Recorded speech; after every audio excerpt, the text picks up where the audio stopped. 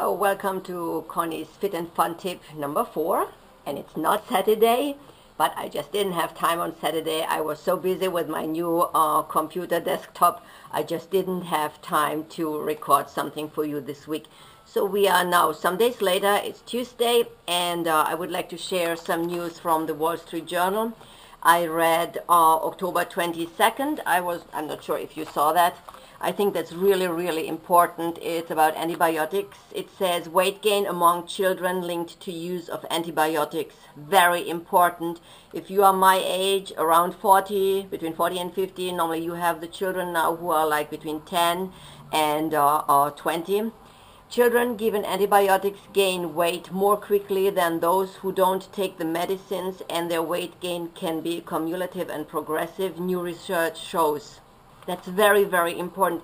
You don't need to give antibiotics when your child is just sneezing. It doesn't mean that you put in immediately every kind of drugs. Dr. Schwartz's team examined the medical records of children aged 3 to 18 enrolled in Pennsylvania's Geisinger Health System between 2001 and 2012. They found that children who took an antibiotic put on a little bit of weight but then lost it the next year, the next year. And now listen. However, with each additional treatment, the children's weight gain became cumulative and progressive, diverging ever more widely from the non-antibiotic group.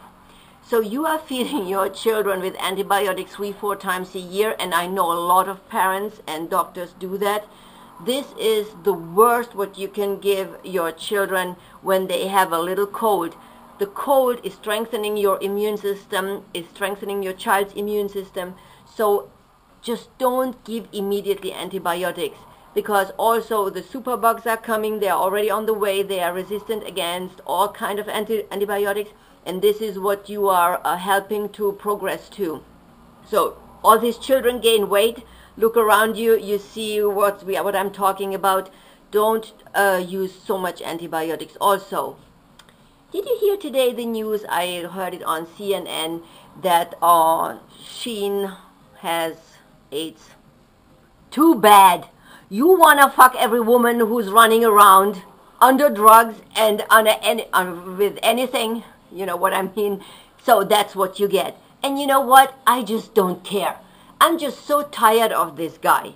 He had so many chances in life. If we would just have half of his chances what he got in life, we would be just so thankful.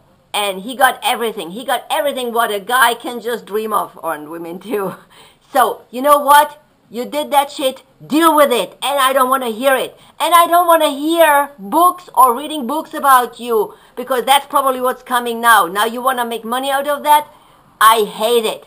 Just shut off and treat it and there are many guys with uh, HIV who still live, and they are from the uh, 80s and 90s. They found good cure for that. They can really help you, and maybe just don't fuck every woman.